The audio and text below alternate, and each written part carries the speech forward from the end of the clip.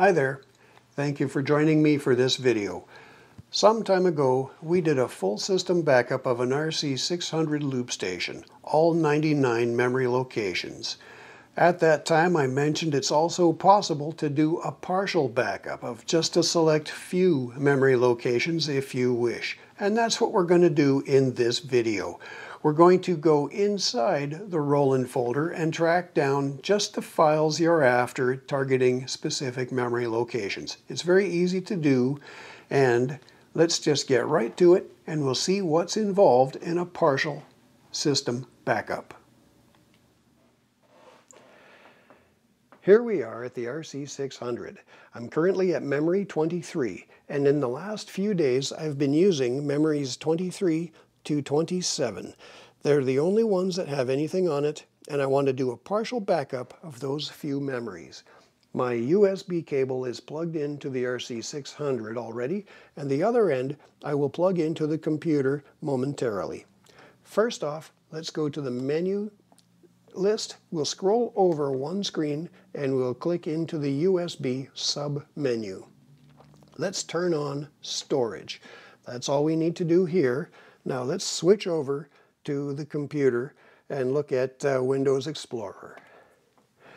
I'd like you to keep your eyes in this area right here and you'll soon see a little bit of activity when I plug in the USB cable to the computer. And that is happening right now.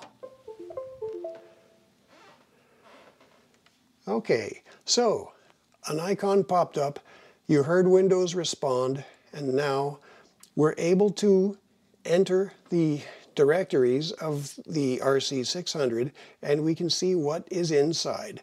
Now I want to do a backup of memories 23 to 27. So I'm going to make a folder on my desktop and I'm going to call it partial backup December 2022. Okay, I'm also inside this folder, I'm going to make two other folders that will correspond with what is inside the RC600. There's a data folder and there is a wave folder. And I want to have corresponding folders in my backup folder. So we could leave that window open. Let's leave that here. I'm going to move it to the side though a little bit and just kind of shrink that down a little so that we can see both of these windows at the same time. So now this is my backup. I've got a data and a wave folder and this is the RC600. We can double click this icon or I can go to this list and I can scroll down to RC600 and click once. Let's do that and here it is, the Roland folder. If I click this little arrow here, I will also see the Roland folder here. I can click once here or on this side of the Windows Explorer, you click twice. And now we see Wave folder and Data folder, just like I made here. These are empty, these are inside the RC600. So let's first look inside the data folder. And in here, memory 001A.rco, memory 001B.rco. Basically what happens is each memory location has two files associated with the memory. So memory 001 has an A, fi a file and a B file. Now we want memory number 23 to memory number 27.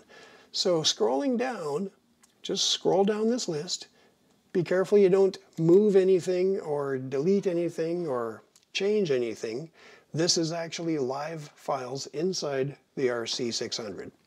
There is memory number 23, file A, and file B, and I want to go all the way down to memory number 27, A and B. Well, in Windows, when you click on the first file that you want, and then you go down and click on the last file you want. You can hold down Shift and press the bottom file, and that highlights everything in between. Now, these files, I'm going to drag over, so right click and hold the mouse button down, drag it over to the data folder that you made in your backup folder on your desktop. Let it go here and click on copy. And it happens awful fast. It doesn't take any time at all. Now let's back up a little bit. These files are now inside this data folder. So let's back up to the Roland level and we can look now inside the wave folder. Double clicking that. Now, these are the wave files that are available per memory. And of course, there are six tracks per memory. So each memory location has six corresponding folders, inside of which will be any tracks that you've recorded. Bits and pieces or overdubs or anything at all that you've recorded, if you've saved it, those wave files will be inside here. For memory 1, there are 6. For memory 2, there are 6. Memory 3, there are 6. You get the idea. There's going to be about 600 folders in this list. So we were at memory number 23. So scrolling down, we're going to find 023 underscore 1. That, oops, click once on there without holding the shift button down. Click once. And that's the first folder in memory 23. And we're going to go down to the last folder in memory 27. So that is 027 underscore 6. Hold down shift and click that file. Now everything in between 023 underscore 1 and 027 underscore 6, they're all highlighted. Let's copy by right clicking and instead of drag and drop, we will just right click and go down this list to copy. And then I'm going to go over to the wave folder and I'm going to right click, paste into that folder. And now you'll see a little, this, we didn't see this the last time because it happened almost instantaneous. But when, the, when there's more files and larger files, you may see that chart come up letting you know the progress of the file transfer. Anyway, it's finished. Now it's done. We are finished. So, if I close this window, let's now have a look. This one is our partial backup folder on the desktop. If we look inside the wave folder, here are 023 underscore 1, all six of its folders, and all the way down to 027 1, 2, 3, 4, 5, 6. So they're all here between memory 23 and 27. Scroll, move, moving up again one level, you can either click here or you can click this arrow to go up a level or in the uh, on the desktop now you could click on partial backup and navigate your way around. There's multiple ways to do this. Anyway, currently we're looking in the partial backup folder. The data folder is here, and there are two files per memory. So there are oh, about 10 or 12 files here. And we can see now that we are finished. So the next thing to do RC600 is on this list.